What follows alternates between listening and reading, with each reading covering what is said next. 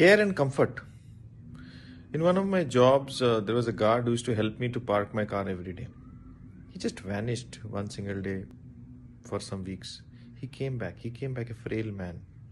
He helped me park. I got out of the car, asked him, What happened? He said, I had jaundice. I said, Are you feeling happy? Tired? He said, No, I'm feeling very tired, sir. I said, What did you earn when you were away? He said, No, nothing.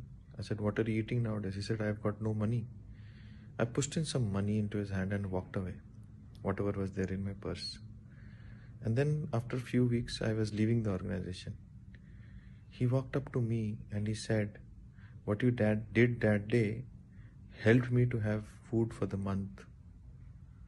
The care and comfort which you can do while observing people can happen multiple times. Do look around and see if you can help someone. Have a great day ahead. Bye bye.